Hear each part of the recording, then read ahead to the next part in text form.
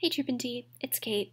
So the problem is, if we're waiting on a shipment to come in, something like MRI casters, for example, um, we don't want to tell our customers that product is going to ship until after we get that component in.